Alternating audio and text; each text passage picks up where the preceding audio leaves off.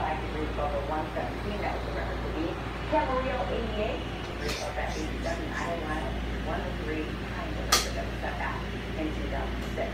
More record-breaking heat expected over the week. You're going to see temperatures currently sitting in the 70s, 80s, 90s. Of course, we'll your full forecast